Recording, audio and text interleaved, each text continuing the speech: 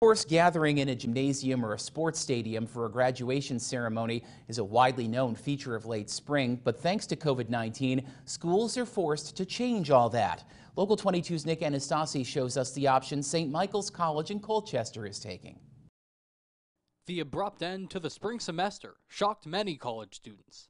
And for graduating seniors, not many thought that that was the last time they would be walking down the halls of their schools feels a lot like we closed the door and did not know we were leaving. It was exactly kind of like that.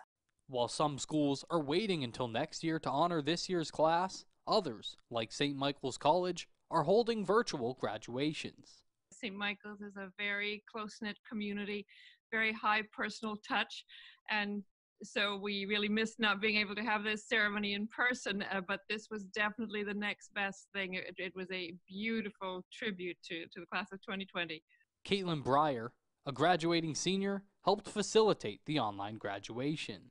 The virtual graduation is really nice because at this time in our lives, we need some sort of closure. Like we can't wait a whole year to like wait to move on from college. We have to kind of get that closure and move on. Despite not being together in person, Breyer says she thinks the graduation was still effective in making memories in its own way. Even though this isn't what we all hoped it would be, it still brought all the emotions. It brought tears and laughter and embarrassment and all the other graduation emotions up for us. In Colchester, Nick Anastasi, Local 22 News.